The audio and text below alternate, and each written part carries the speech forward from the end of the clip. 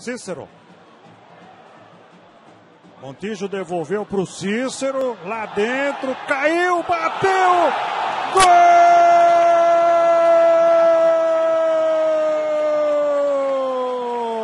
Cícero! 10 minutos do segundo tempo. Um lance que o Santos já estava preparado para pedir um pênalti no Gabriel. Aí a bola ficou para o Cícero livre, sem marcação. E o Santos acaba fazendo 2 a 0. O Montijo tocou para o Cícero. Olha aí, o lance com o Gabriel. E de pé direito, né? O Cícero manda a bola para a rede. Luiz Ademar. Parabéns em dose dupla. Primeiro ao Cícero que iniciou a jogada e depois fez o gol.